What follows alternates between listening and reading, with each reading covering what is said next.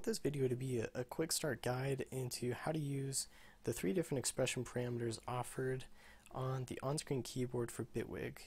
So pitch bending, pressure, as well as timbre.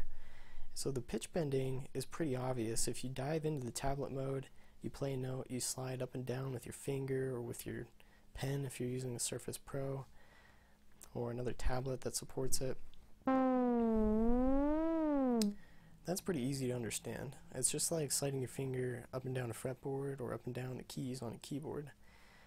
Now, uh, this is a pressure sensitive pen that I'm using on the Surface Pro, and so watch what happens when I press down on a note. So the orange circle, um, that's giving me feedback, telling me I'm playing the note is getting darker as I press down harder with the pen. So that's telling me that I'm applying more pressure, obviously, and you can use the pressure parameter or as a modulation source on the polysynth. And so if you click the icon, we have frequency here that's being modulated by the pressure. So as I press, press down, watch that frequency knob and you're going to see as well as hear the difference when I press down harder.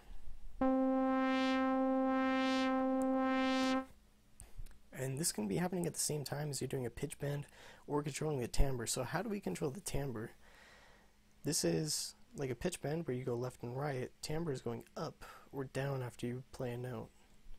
And just like pressure, we can control parameters on the polysynth with the timbre. So let's go ahead and hit that icon and we are modulating the oscillator FM and so I'm going to slide up and down and you can watch that change as well as hear the change.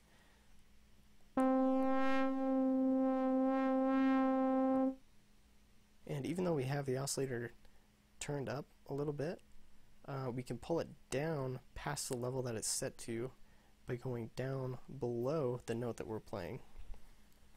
And so I hope this was helpful. I was a little bit lost, especially with uh, how to use timbre um, when I first started using the tablet profile.